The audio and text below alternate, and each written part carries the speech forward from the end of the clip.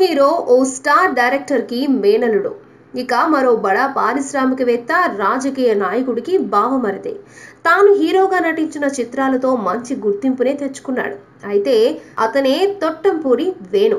ఈ ఆరడుగుల ఎత్తుండే ఆజాన బాహుడు తన ఇంజనీరింగ్ పూర్తి చేసిన తర్వాత సినిమా ఫీల్డ్లోకి రావాలని భావించాడు. భారతీరాజా దర్శకత్వంలో ఈయన హీరోగా ఓ తమిళ చిత్రం ప్రారంభమై ఆగిపోయింది.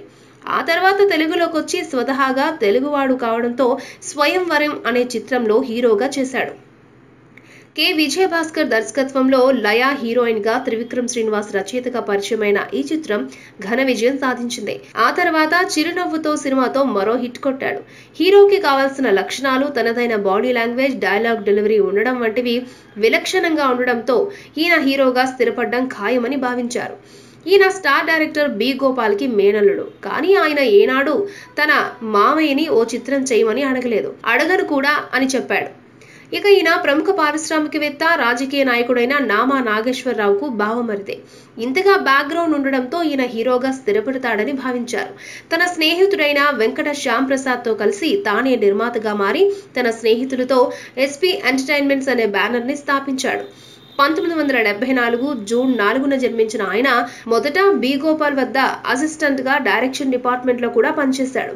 మనసు పడ్డాను గాని ఈవివి సత్యనారాయణ దర్శకత్వంలో వీడెక్కడి మొగుడండి?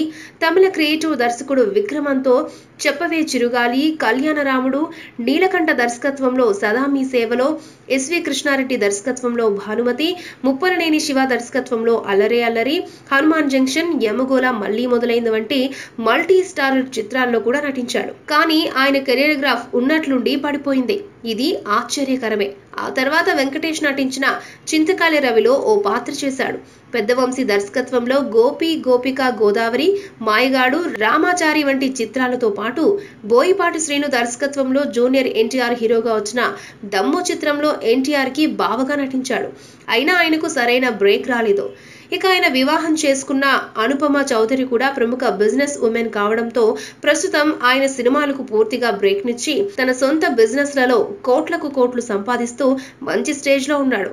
హీరోగా కాలం కలిసి రాకపోయినా బిజినెస్ మ్యాన్గా మాత్రం చక్రం తిప్పుతున్నాడు వేణు.